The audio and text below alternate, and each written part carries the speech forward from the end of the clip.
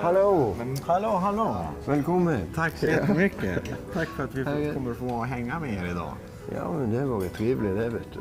Vi, vi får hoppas att Med det den här gängen här så blir det bra. Ja, är det som en familj? Det är en stor familj. Per-Mattias Högmo, 62 år, han är fortfarande nyfiken. Så pass att han parallellt med sitt tränarskap i Häcken jobbar på en avhandling om ledarskap. Det gör mig nyfiken. Och vad det är som har gjort att Häcken helt plötsligt är med i guldstriden från att ha varit ett krislag förra säsongen.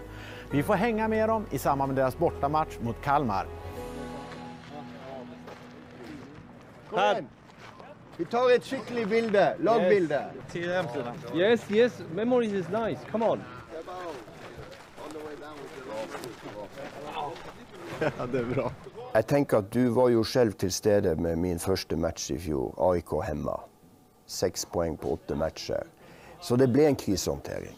Sen kom jo da at vi lyktes å holde oss kvar. Vi lyktes å utvikle spillere. Vi fikk et salg på Vålemark som gjorde at vi kunne investere i en bra trupp.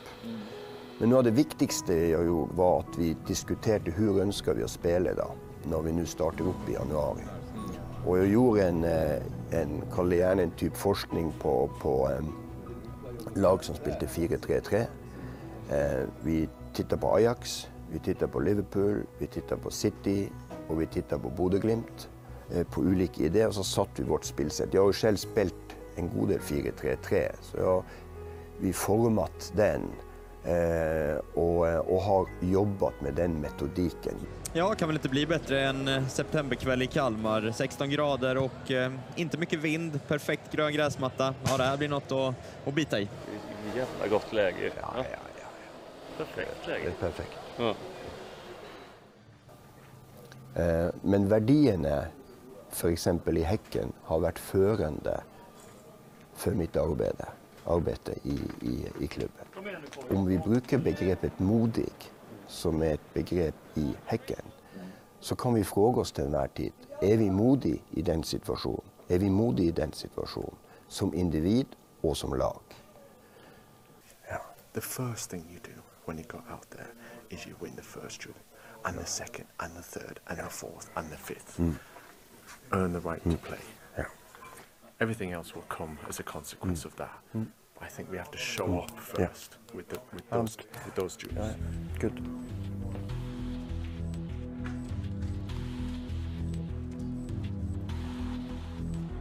Det er jo interessant hele tiden, men det er jo alltid spennende å se hvor kampen setter seg. Altså starten på match. Det blir jo en rutine her. Jeg sitter inne her og tar det lugnt og går litt gjennom, litt gjennom kampen. Ulike scenarier. Ja, vi prøver å danne det bildet som man har. Ja, ulike scenarioer. Ja. Men det er jo for meg samme som for spillerne. Det er å fokusere på arbeidsoppgiftene. Ja. Og ikke bli for emosjonell. Ikke sant?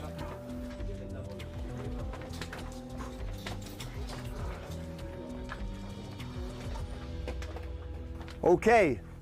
Uh, we can talk about, you know, tactics and everything, but go out, and as Simon say, go out and win your one against one situation. Be there and win it, okay?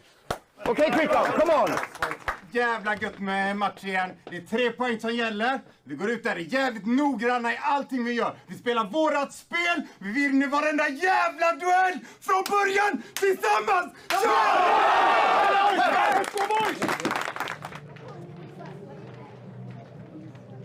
Ja, men jag, jag beskriver han som, som mer av en ledare än en tränare. Och i mitt tycke som en ledare bör vara. Eh, med liksom, eh, en absolut respekt mot, mot alla han jobbar med och sådär. Eh, men också liksom, eh, ambitionen att vara en förebild hela tiden. Så att det liksom handlar snarare om att och eh, bete sig med rätt värden än någonting annat. Ja, god match. Tack samma. Vi går jo alltid ut for å ta, ta tre poeng. Det er utgangspunktet også i dag. Takk. Han har ju liksom mer en översikt och mer en, en, ja, men en ledarposition. Och sen har han ju eh, assisterande Foyston, Jeppe Ljung, Jordi på fysdelen och så vidare som är mer konkreta och liksom väldigt kunniga i sina områden och får jobba liksom eh, så 100% i aktörsrollen med det. Liksom.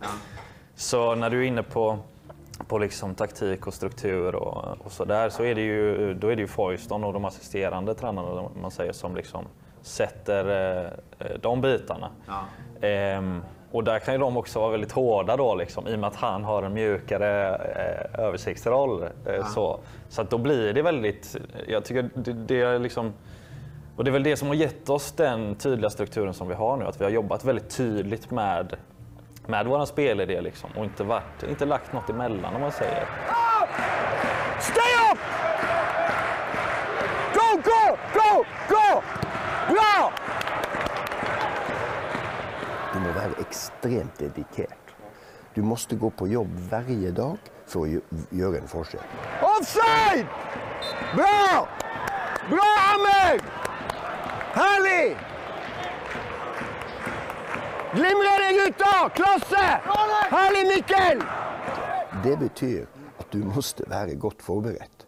Du må ha energi som leder for å være en god leder. Og i hvert fall som trener og toppleder innenfor fotballen. For jeg har vært sliten i perioder. Og, og de periodene hvor du, hvor du er, kjører deg selv ned og ikke får nok energi, da faller din kvalitet som leder.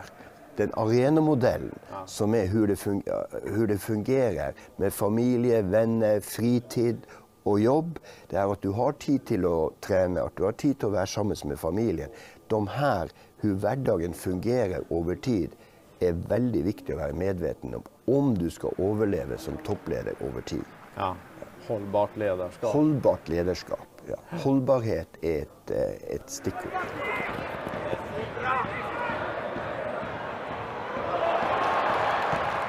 Det är bra!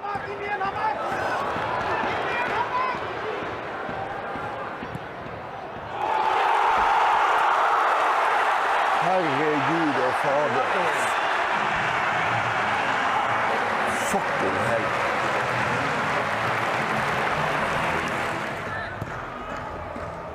Vi gjør så det vanskelige valg. Faen også! Spille mer enkle baller hele veien.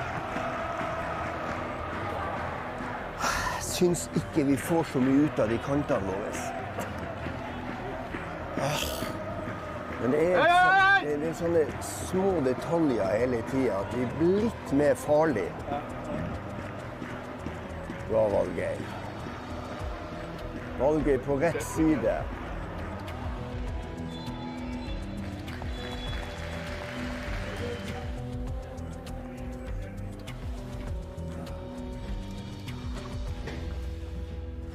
First of all, we have to stop playing ball centrally from the centre back. Yeah, yeah, that's I mean, that, that's it's difficult to control the ball, and they're good on the counter attack. They're, they're seeing that, mm-hmm. but there's so much space out wide I think we can just release our fullbacks even more and be even more aggressive because we need to get good delivery into the box. So I think we're going to score if we can get good crosses because they're not pressing, so there's not much space to find.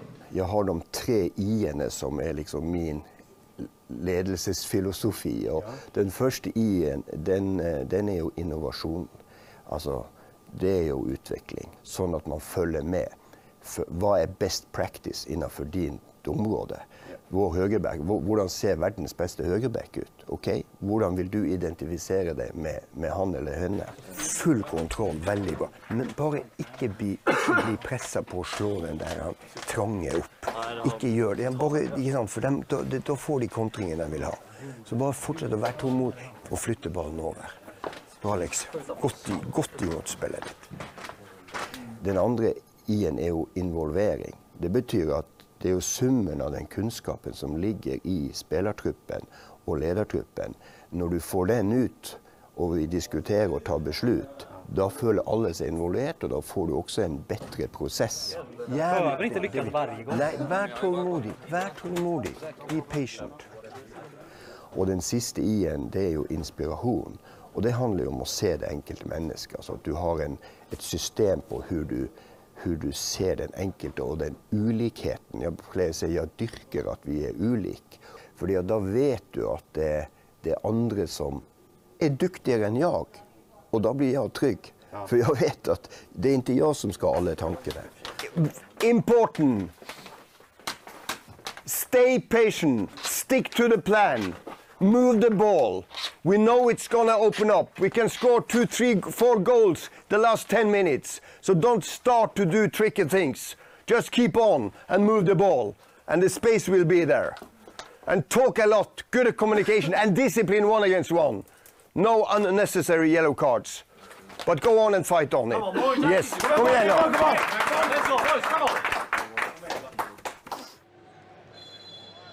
Så jeg har et sånt mantra at spillerne måtte ta ansvar for sin egen utvikling. Det lærte jeg av Bjørge Stensbøl, som var vår leder i Olympiatoppen i Norge på, på 90-tallet. På den der ytan og her dyker leget opp for Sanna. 1-1. Det var jævlig bra. Der kom han. Det var bra. Bra. Yes, good. Herlig, Tobias! Hei! Jobber vi som F! Kom igjen! Bra! Well done! Inåt, Samuel! Eh, gå og gi beskjed at de er klar til å bytte snapt, alle sammen. At de er klar til å bare gå inn snapt. Alle sammen bare klar til å gå inn snapt.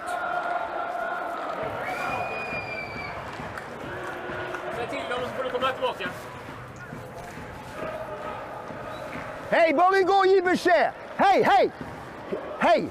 Go and here, give a message. You have to give a message. Come on, come on. Yeah, yeah, he give a message. Jag bara lämnar besked. He's coming back. Stop! Stop!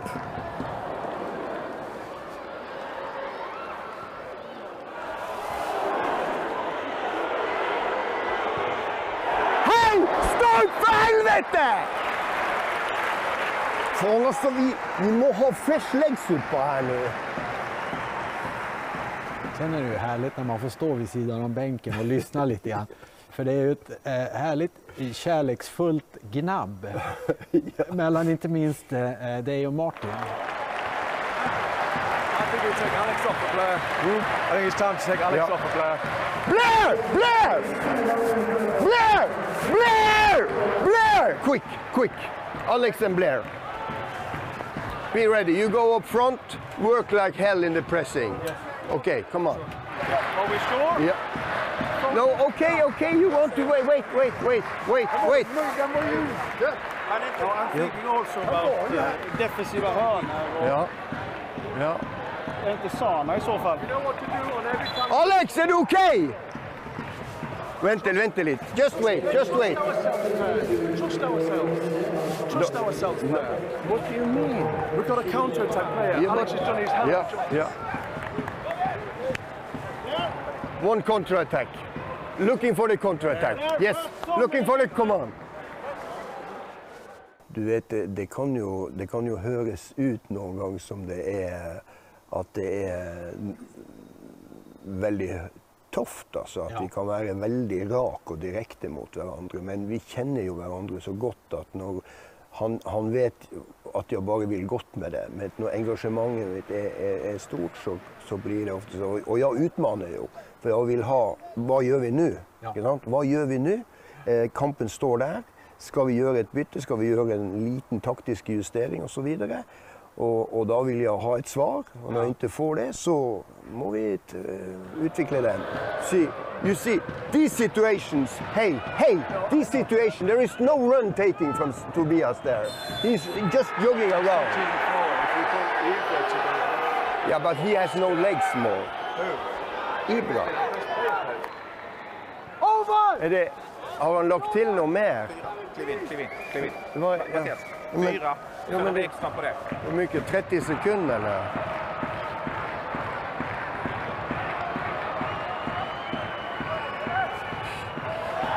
Hei! Hei! Faen, Mikkel at du ikke spiller over her! Helvete!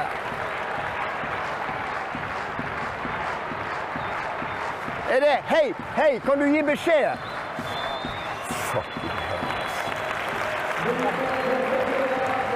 Takk for matchen, Lars. Good fight. Ja, det var bra. Ja. Du må slå de i Stockholm-laget. Ja. Var det nødvendig med gult kort på Hammer der? Tyvärr. Og han gjorde det så jævla bra så at han stoppa den der. Takk for match. Takk. Takk for match. De er bra. De er, er, de er et bra lag. Vi kommer tilbake fra underlege. Det er OK. Og det er- Nei, men eh, back in business. Gutter, det bygger moral! Vi bygger moral! Viktig! Godt, godt forsvart boks i slutten der når det var nødvendig. Det gilder jeg. Og det står opp med fighting spirit. Det er muskler. Bra match. Bra match. Bra fotballmatch. Två, eh, två bra lag. Med det skulle vi vilja tacka för all öppenhet från er sida och vi kommer att följa er med spänning. Jo, men eh, takk det. For en fin dag. Gott. Gott. Snart släcker de strålkastarna här på Guldfågeln Arena och vi ska be oss hem.